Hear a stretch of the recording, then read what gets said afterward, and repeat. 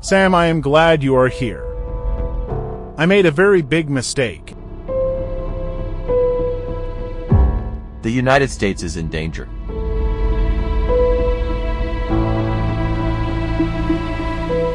Sir nuclear missile is activated in South China Sea. Our 7 fleet is in danger.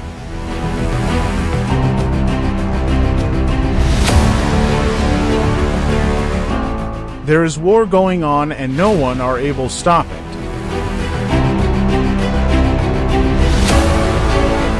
You're not real a hero.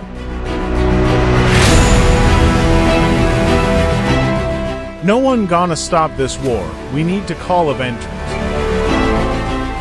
You betrayed us, now it gonna cost you high. The world is not give up against the new world order.